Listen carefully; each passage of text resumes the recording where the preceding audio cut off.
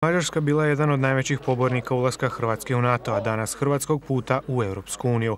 Posebno je to važno ove godine kada Mađarska predsjedava Vijećem Unije, a Hrvatska očekuje dovršetak pregovora, naglašeno je na sastanku dvaju ministara. Magyarország minden lehetséges fórumon és minden lehetséges alkalommal kiáll azért, hogy Horvátország a lehető leghamarabb az Európai Unió tagja legyen.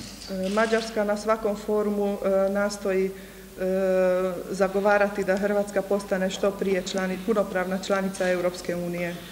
Ministar Božinović zahvalio se svom mađarskom kolegi za pomoć u organizaciji izložbe industrije vojne opreme i naoružanja u listopadu prošle godine u Budimpešti. Već tada ostvarena je suradnja koju danas treba potaknuti, naglasio je ministar. Trebamo raditi na tome da se postigne dogovor i kad je u pitanju uh, uvođenje nekih sredstava i u uh, mađarske oružane snage, tu prije svega e, govorim i imam u vidu i e, hrvatski, hrvatsku kacigu, e, proizvode HS produkta, međutim i, i neke druge. Naravno i mi smo zainteresirani za neke ponude koje možemo dobiti od strane Mađarske.